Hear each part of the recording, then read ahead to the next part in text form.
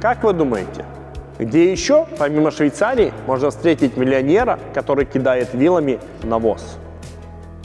Я думаю, что вы уже догадались по названию ролика, что речь пойдет про Альшаны.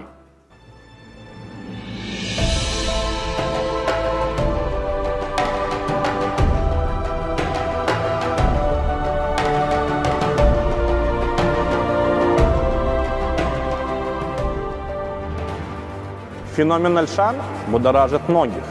Агрогородок Альшаны известен многим, далеко за пределами Беларуси. В Беларуси житель Альшан и богатый человек почти что синонимы. При этом все знают, что Альшаны зарабатывают деньги тяжелым, добросовестным трудом, выращивая огурцы и не только в своих теплицах. Труд простой, незамысловатый и поэтому доступен для всех южных регионов Беларуси. Но не все спешат заработать такие большие, но непростые деньги. Так откуда же взялась в Полесской глубинке среди болот такая жемчужина?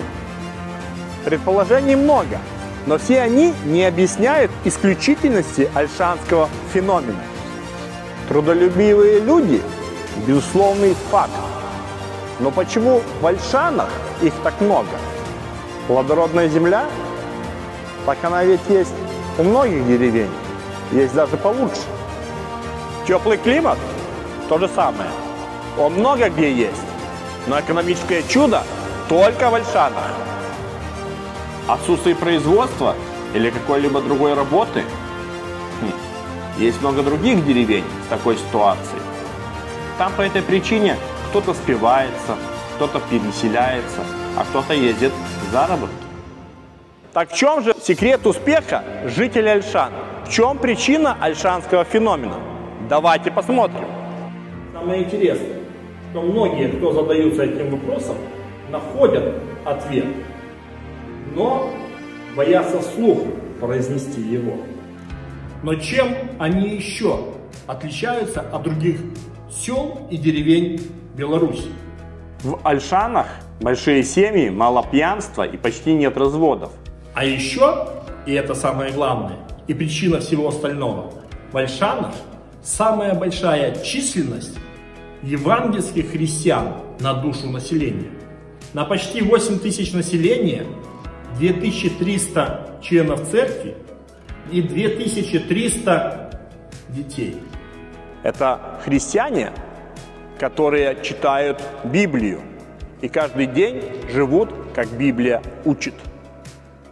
В Библии написано, что дети – это благословение, а не обуза. Что кто не работает, тот и не ешь.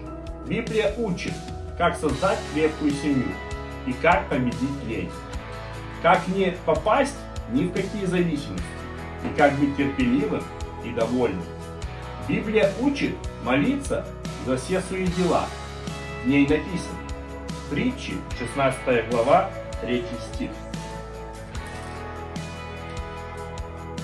Предай Господу дела твои, и предприятия твои совершатся.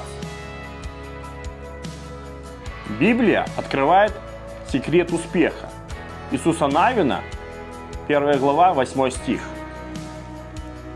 Да не отходит сия книга закона от уст твоих, но поучайся в ней день и ночь, дабы в точности исполнять все, что в ней написано.